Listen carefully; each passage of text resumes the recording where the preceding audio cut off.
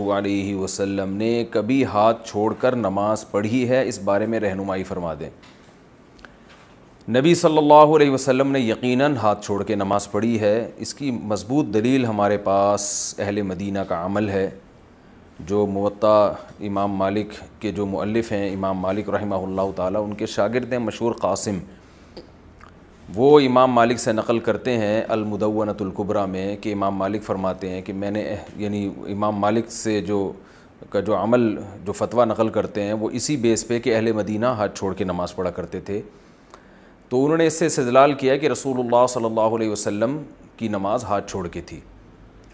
तो आइमा कराम के मुख्तलिफ़ दलाइल होते हैं, बाज़ दफ़ा सरी रिवायत नहीं मिलती, लेकिन किसी का अमल ये बता रहा होता है कि नबी सल्लल्लाहु अलैहि वसल्लम ने ये अमल किया होगा।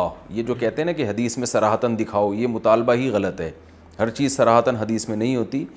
दलील कभी सराहतन होती है, कभी दलालतन होती है। दलालतन का मतलब ये है कि कोई ऐसा अमल होता है जिससे लगता है कि नबी ने यह अमल यकीन किया होगा। तो अहल मदीना ज़ाहिर है, सारे गुमराह तो नहीं हो सकते।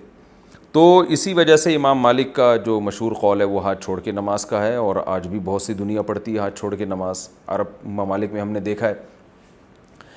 तो आप हाथ छोड़ के पढ़ें ना पढ़ें तो देखें किसी एक फ़िका को फॉलो करना चाहिए। इमाम अबू हनीफ़ा की तहकीक है हाथ बाँध के नमाज़। वो उन हदीस से इस्तलाल करते हैं जिनमें हाथ बाँध के नमाज़ पढ़ने का हुक्म है।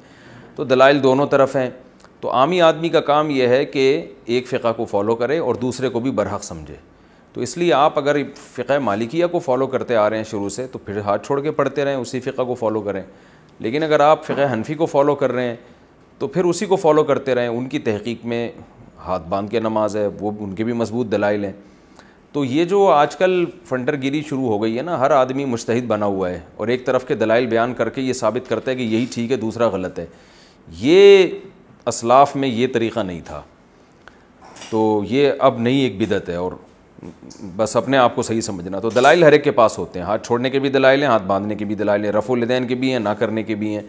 हर एक का अपना, मुश्तहिद का अपना अंदाज़ है। तो सबको ठीक समझें, फॉलो एक को करें, क्योंकि एक टाइम पे सबको फॉलो करना मुमकिन नहीं है।